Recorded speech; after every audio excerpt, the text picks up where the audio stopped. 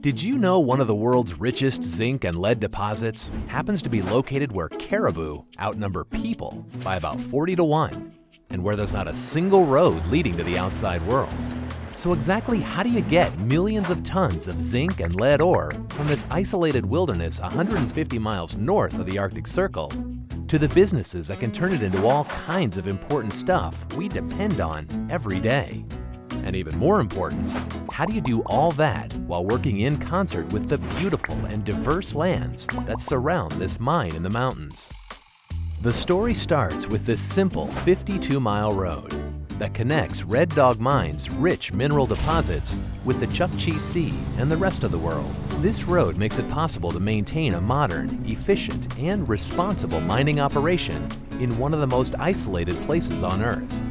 The process begins with engineers and technicians who carefully use sophisticated and highly targeted explosives to turn lots of solid rock into about 11,000 tons of loose ore every day.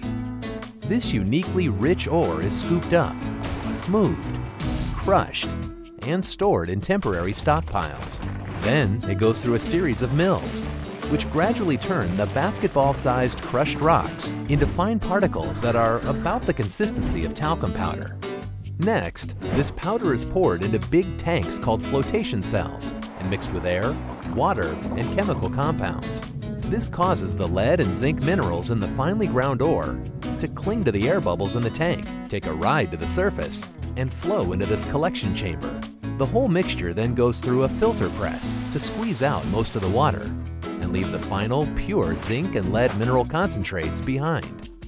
But that's really just the beginning, because this valuable mineral concentrate isn't worth much sitting in Alaska far above the Arctic Circle.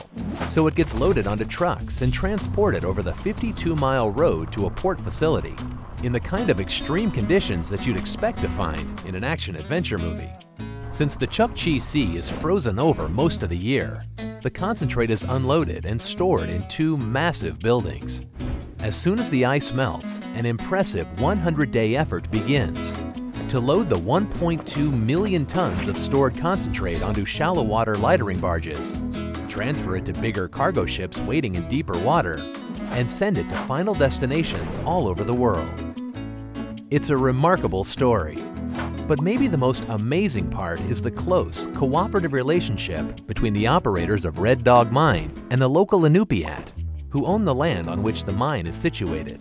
Since 1982, this responsible resource development partnership has opened the door to remarkable economic opportunities, actively worked to protect the region's natural resources for generations to come, and helped maintain the subsistence hunting, fishing, and gathering activities that thousands of Inupiats still depend on. When you put all these pieces together, it's clear that Red Dog Mine is much more than a successful and responsible mining operation. It's a powerful economic engine of hope, security, and opportunity for an entire region and state.